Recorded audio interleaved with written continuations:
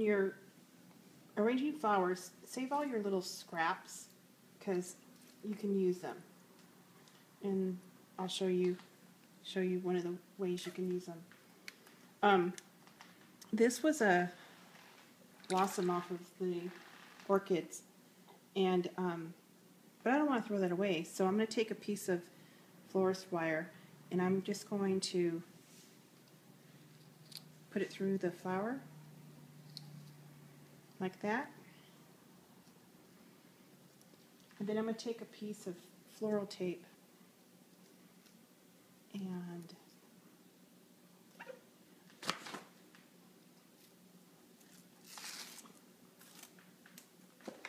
and just start wrapping it around.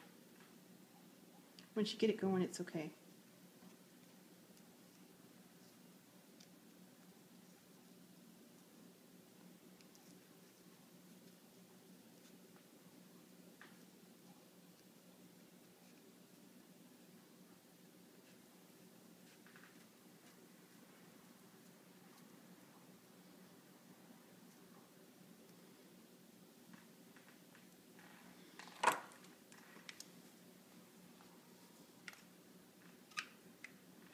Okay, so now you have your flower, it's wired.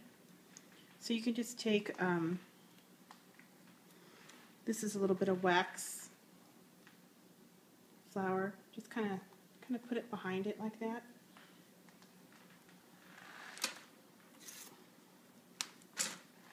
Take another piece of floral tape. Same thing, get it started.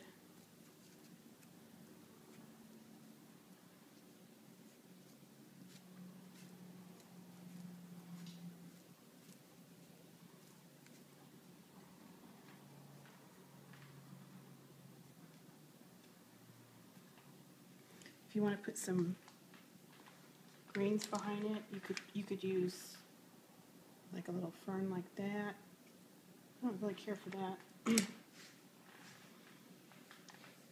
think I'm going to use a little piece of this asparagus fern. See how that just kind of softens it up a little bit? Maybe put a little piece on that side.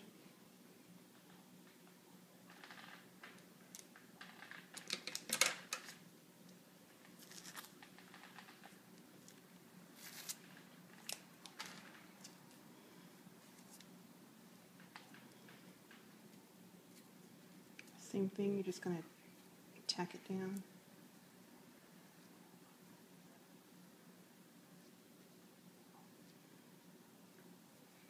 And see if you're happy with it. kind of think it would be nice if there was a little piece of this fern on this side.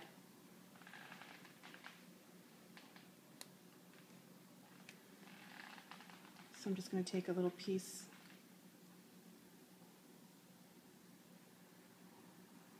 you can see